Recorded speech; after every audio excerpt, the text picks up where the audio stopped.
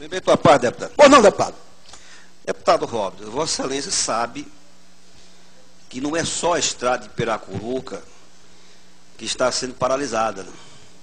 Várias obras do Estado do Piauí estão sendo, porque o governo não paga, mesmo com dinheiro depositado na Caixa Econômica. Não é só lá não. Se Vossa Excelência quer muito, Buriti dos Montes, a Jurema retirou de lá as máquinas. Por quê? Porque o governo não paga. Mesmo com dinheiro em caixa. Não sei o que é isso.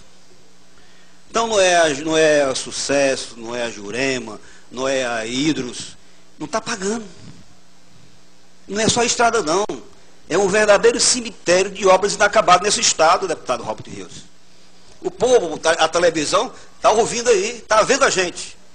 Veja os municípios, ah, que, que não tem uma obra hoje parada nesse Estado. Então, eu sei que Vossa Excelência é um representante muito digno, um brilhante deputado estadual, defensor da sua cidade Piracuruca, mas infelizmente não é só Piracuruca não. O Estado todo está com obras paradas, deputado. Obrigado, deputado Flávio Nogueira.